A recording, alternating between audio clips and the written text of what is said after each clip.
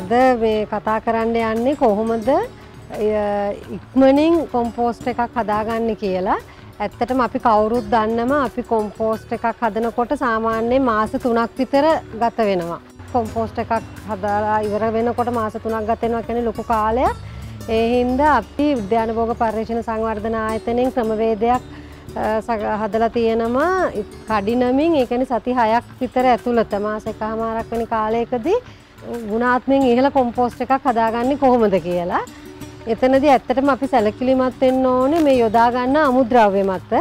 මේක ඇත්තටම සුද්ධ ජීවීන් මගින් සිදු කරන ස්වායු තත්ත්වයට යටතේ සිදු කරන ක්‍රියාවලියක්. ඒ කියන්නේ මේ කොම්පෝස්ට් මේ අමුද්‍රව්‍ය දිවීම කරන්නේ ස්වායු තත්ත්වයට යටතේ සුද්ධ ජීවීන් මගින්. එතකොට අපි සුද්ධ ජීවීන්ට අවශ්‍ය කාබන් සහ නයිට්‍රජන් කියන පෝෂක දෙක අවශ්‍ය පරිදි දෙන්න ඕන. මේකට ඇත්තටම අනුපාතයක් තියෙනවා.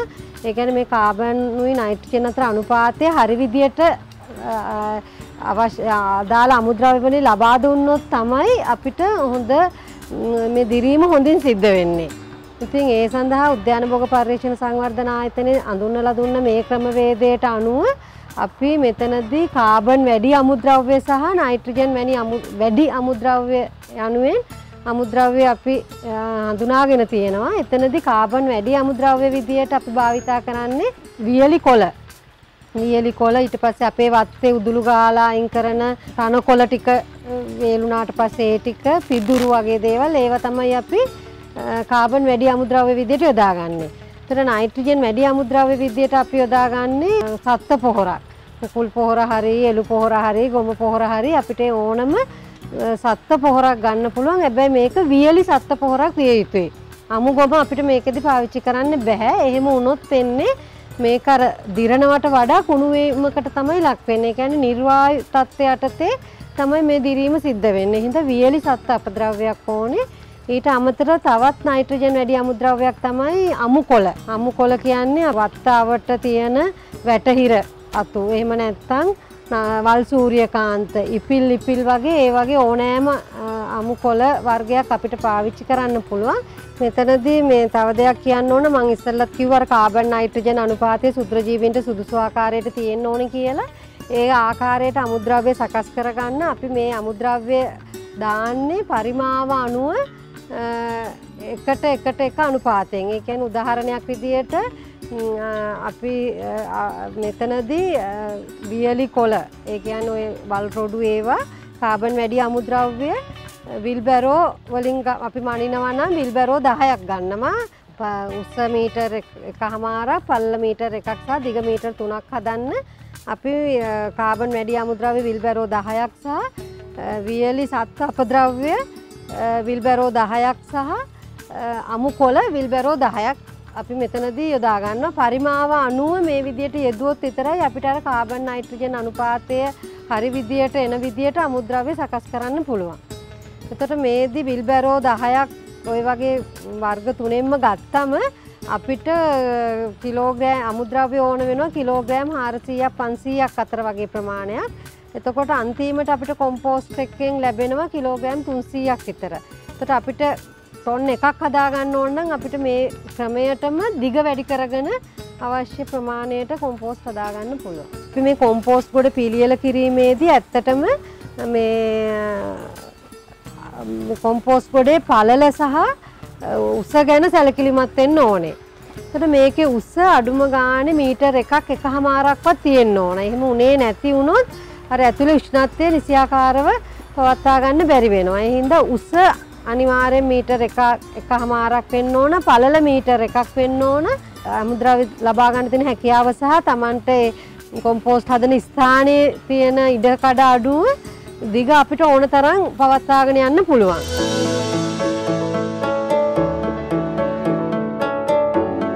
අපි දැන් බලමු කොහොමද අපි ඉස්සල්ලාම ඒ පළමුවෙනි තට්ටුව හදාගන්න කියලා. කාබන් වැඩි අමුද්‍රව්‍යයක් තමයි මේ යටටම දාන්නේ. මේක අපි අඟල් 8ක් විතර වගේ උසකට දාගන්නවා. ඒකට හේතුව තමයි අපි මේ කොම්පෝස්ට් ගොඩ සකස් කිරීමේදී අපි යොදන අමුද්‍රව්‍ය වල තෙතමනේ මදි නම් මල් බාල්දියකින් මේකට ජල සම්පාදනය සිද්ධ කරන. ඒ කියන්නේ තෙතමනේ ලබා දෙනවා. එතකොට අපේ අතින් වැඩිපුර වතුර එකතු වුණොත් අර යටටම අර ස්පොන්ජ් එකක් වගේ වියලි කොළ තට්ටුවක් දාපම වැඩිපුර වතුර ටික ඉවත් ගලාගෙන යන්න පුළුවන්. ඒ හින්දා තමයි අපි යටටම ඒ කාබන් වැඩි අමුද්‍රව්‍යයක් දාන්නේ. මේ තට්ටුවෙන් තට්ටුව මේ අවශ්‍ය අමුද්‍රව්‍ය දාන අවස්ථාවේදී ඒ දාන අමුද්‍රව්‍ය වල තෙතමනේ මදි නම් අපි මේ හැම තට්ටුවකදීම වතුර දානවා. එතනදි මල් බාල්දියකින් වතුර දාන එක හොඳයි නැත්නම් අපි වතුර බටයකින් වගේ දාන්න ගියොත් වතුර වැඩි වෙන්න පුළුවන්.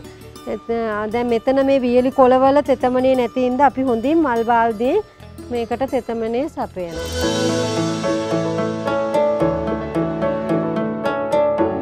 ඉස්සල්ලාම දැම්මේ කාබන් වැඩි අමුද්‍රව්‍යයක් ඊළඟට අපි දාන්න ඕන තුනී තට්ටුවක් ලෙස නයිට්‍රජන් වැඩි අමුද්‍රව්‍යයක්. තට නයිට්‍රජන් වැඩි අමුද්‍රව්‍ය දෙකක් අපිට තියෙනවා. අමු කොළ පොහොර සහ වියලි සත්ත අපද්‍රව්‍යයක්. එතකොට අපි මෙතනදි දාමු වියලි සත්ත අපද්‍රව්‍යයක් නයිට්‍රජන් වැඩි අමුද්‍රව්‍යයක් විදියට.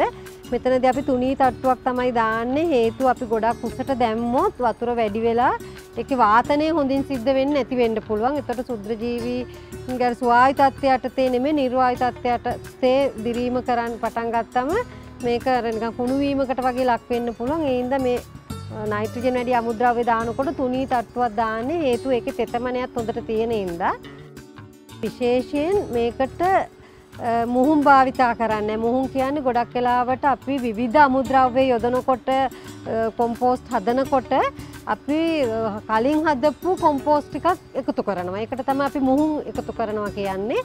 එතකොට මෙතනදී අපි මුහුම් එකතු කිරීම අවශ්‍ය වෙන්නේ හේතුව අපි වියලි සත්ත්ව අපද්‍රව්‍ය මේ සඳහා යොදා ගන්නවා. වියලි සත්ත අපද්‍රව්‍ය වල ඕන තරම් සුද්‍රජීවීන් ඉන්නවා. ඒගොල්ලෝ මගින් තමයි මේ දිරීම සිද්ධ කරන්නේ. ඉතින් පිටතින් මුහුන් එකතු කිරීමක් අවශ්‍ය වෙන්නේ නැහැ. ගොමවල මට පේනවා මේ තෙතමනේ ප්‍රමාණවත් විදියට තියෙනවා. ඒ හින්දා ආයෙ මෙතනට ආයෙ වතුර එකතු කරන්න අවශ්‍ය වෙන්නේ නැහැ. තෙතමනේ අඩු නම් අපි නැවත මේ මේ අවස්ථාවේදීත් මල් බාල්දියකින් වතුර එකතු කරන්න ඕනේ.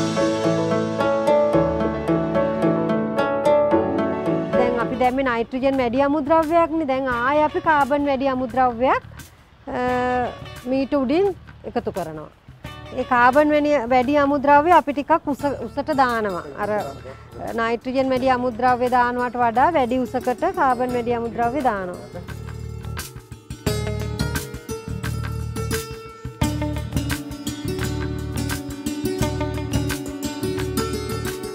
දැන් මෙතනදී මේ වියලි කොළවල වතුර මදි හින්දා අපි නැවත මල් බාල්දියකින් මේ තට්ටුවේදීත් වතුර දානවා.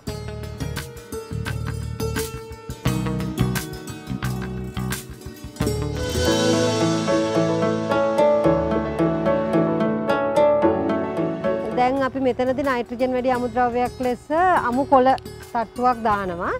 මේ අමු කොළ තට්ටුව දානකොට ඇත්තටම මේ ලපටි දණ්ඩු සහ කොළ තමයි ඉක්මනින් දිරීමට පත්වෙන්නේ නමුත් අපි දැන් මේ කපාගත්තු අතු අපි පෙරලන අවස්ථාවේදී ඒ කෝටුව ඇදලා ගන්න පුළුවන් විදියට අත්ත පිටින්ම මේකට එකතු කරන්න පුළුවන්.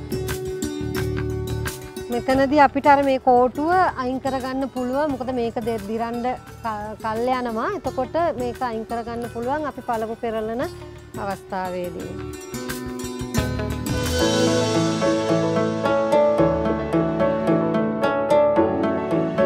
දැන් අපි නයිට්‍රජන් වැඩි අමුද්‍රව්‍යයක් දැම්මේ නැවත අපි ඊළඟ තට්ටුව විදියට කාබන් වැඩි වියලි කොළ තට්ටුවක් නැවත දානවා.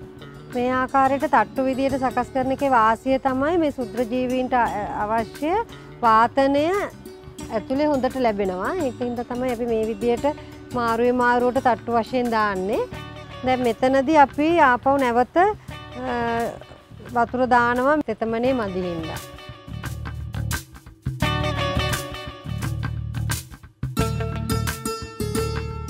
දැන් අපි මේ විදියට දැන් ඔකොල්ලො දැක්ක පිස්සල්ලාම කාබන් වැඩි අමුද්‍රව්‍යයක් ඊළඟට නයිට්‍රජන් වැඩි සත්ත අපද්‍රව්‍යයක් ඊළඟට නැවත කාබන් වැඩි අමුද්‍රව්‍යයක් ආය නයිට්‍රජන් වැඩි අමු කොළ තට්ටුවක් සහ නැවත කාබන් වැඩි අමුද්‍රව්‍යයක් විදියට වියලි කොළ තට්ටුවක් දැම්මා. මේ ආකාරයට කාබන් වැඩි අමුද්‍රව්‍යයක් උඩට සත්ත අපද්‍රව්‍යයක් හෝ අමු කොළ තට්ටුවක් එන ආකාරයට නැවත ඒට උඩට කාබන් වැඩි අමුද්‍රව්‍යයක් එන ආකාරයට තට්ටු වශයෙන් කාබන් වැඩි අමුද්‍රව්‍යයක් සහ නයිට්‍රජන් වැඩි අමුද්‍රව්‍යයක් තට්ටු විදියට මීටර් එකක් එක හමාරක් කුස දක්වා මේ ආකාරයට සකස් කරගන්නවා ද අපි දැ මීට උඩින් වියලි කොළ තට්ටුවක් දානවා දාලා නැවත තෙත් කරලා කළු පොලිතීන් එකකින් හොඳට වහනවා. දැන් අපි කළු පොලිතීන් එකෙන් මේ කොම්පෝස්් ගොඩ පහන්ඩ යන්නේ. එතනදී අපි මෙදැන් සාමාන්‍යයෙන් ඕනම කෙනෙකුට පුළුවන් ඕනෑම අමුද්‍රව්‍යයක් දාලා කොම්පෝස්ට් හදන්න. දැන් එතකොට සමහරලාවට කොම්පෝස් ගොඩ ඇතුළේ පැක්කලා වගේ තියෙනවා. එතකොට යටින් අපි පොඩි ඉඩක් තියෙනවා වාතනය හොඳින් සිද්ධ වෙන්න. නමුත් මේ ක්‍රමේදී අපිට ඒක අවශ්‍ය වෙන්නෙත් නෑ. හේතු අපි දැක්ක මුලයිදම්ම අපි තුනී තට්ටු වශයෙන් තමයි වියලි කොල සහ අමු කොල සහ සත් අපද්‍රව්‍ය දැම්මේ එතකොට මේක ඇතුළේ ලිහිල් විදියට තමයි මේ තට්ටු සකස් වෙලා තියෙන්නේ. ඒකට ඇතුළේ හොඳ වාතනයක් සිද්ධ වෙනවා. ඒ හින්දා පිටතින් ඉඩ තිබීමට අවශ්‍ය නෑ. තිබ්බයි කියලා වැරද්දකුත් නෑ. නමුත් එහෙම අවශ්‍යම වෙන්නේ නැහැ. දැන් නැවත මේක අපි සති දෙකකින් තමයි පොලිතීන් එක ඉවත් කරලා පෙරලීමක් සිද්ධ කරන්නේ. මේකෙදි මේ තෙතමනේ පරීක්ෂා කරනකොට අපි පොලිතීන් එකෙන් පොඩි තැනකින් ඉවත් කරලා කෝටුවක් වගේ එකක් ගහලා බලන තෙතමනේ ප්‍රමාණවත් විදිහට තියෙනවද කියලා ප්‍රමාණවත් පරිදි ප්‍රථමනේ තිබුණොත් අපි ඒක ඒ විදිහටම තියෙනවා ප්‍රමාණවත් පරිදි තෙතමනේ තිබුණේ නැත්නම් පොලිතීන් එක ඉවත් කරලා මල් බාල්දියකින් අර පෙර පරිදිම ජල සම්පාදනය කරනවා. ඇත්තටම සති දෙකක් විතර යනකොට මේකට අත දාන්න බැරි තරම් ලොකු රශ්නයක් එනවා. අපිට පේනවා ඒ සති දෙකකදී අපි මේක පළමු පෙරලීම සිද්ධ කරනවා. එතකොට අපිට පේනවා ලොකු දුමක් යනවා. එන සෙන්ට්‍රිගේට් අංශක 70ක් 60ක් 70ක් වගේ ප්‍රමාණයකට උෂ්ණත්වය නගිනවා. ඊට පස්සේ අපි සති දෙකකින් පළමු පෙරලීම කරලා නැවත මේ ගොඩ ඒ ආකාරයටම මීටර එකහමාරක් කුසට සකස් කරලා නැවත කළු පොලිතින් එකෙන් වහනවා. මේ ආය සති දෙකකින් ඒ කියන්නේ මේක හදලා මාසයකින් නැවත දෙවනි පෙරලීම සිද්ධ කරනවා. එතනදිත් නැවත මේක ගොඩ ගහලා අර විදියට මීටර් එකක් උසට පවත්වා ගන්න ඕන. මෙතනදී අර දිරීම සිද්ධ වෙන හින්දා කොම්පෝස්ට් ගොඩේ ප්‍රමාණය අඩු වෙනවා. එතනදී අපි කරන්නේ මීටර් එක එක හමාර උස හැම හැම පෙරලීමකට පස්සේ පවත්තා ගන්නවා දිග එතකොට අඩු වෙනවා. හැම වෙලේම වැදගත්වෙන්නේ උස සහ පල්ලල මේ මීටර් එකක් පලල සහ උස මීටර් එකක් එක හමාරක් අතරට පවත්තා ගැනීම ඉතාමත් වැදගත්. අන්තිමේදී අපි තුන්වෙනි පෙරලීම වෙනකොට අපිට මේක භාවිතයට ගන්න පුළුවන්. එතනදී ඇත්තටම හොඳින් කොම්පෝස්ට් ගොඩ දිරිලා තියෙනවා නම් කිසිම මේකේ කිසිම ගඳක් තියෙන්න බෑ. ඒ වගේම තමයි අපි මේ කොම්පෝස්ට් ගොඩ කොම්පෝස්ට් ටිකක් අතින් අරන් මෙහෙම අතින් මිටමොලෝලා මිරිකපුවාම මේ ඇතුලෙන් වතුර බහින්න යන්න බෑ. එහෙම වුණොත් අපිට එතමනේ වැඩි වෙලා තියෙන්නේ. ආයෙ දිගෑරියාම මේක කැඩෙන සුළු වෙන්න ඕනේ. ඊට පස්සේ හොඳින් කළු පැහැති කොම්පෝස් ගොඩක් වෙන්න ඕන ඒ කියන්නේ හොඳින් මේක දිරීමට පත් වෙලා නම් ඒ වගේ හොඳ ලක්ෂණ තියෙන්න ඕන හොඳ කොම්පෝස්ට් එකක. ඊළඟට අපි මේක විශ්ලේෂණය කරාම සාමාන්‍ය නයිට්‍රජන් අපිට සීයට එකයි දසම පහත් දෙකක් අතර වගේ තියෙනවා.